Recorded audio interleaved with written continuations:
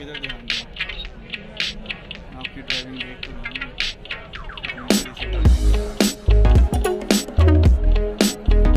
हूँ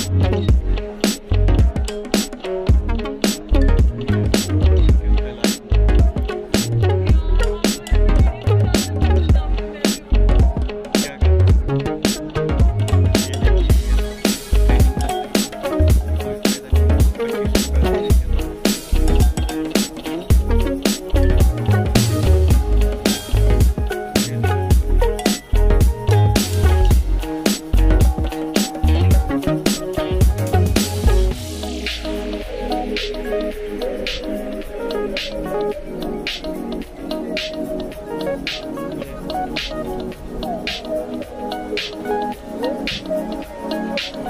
you.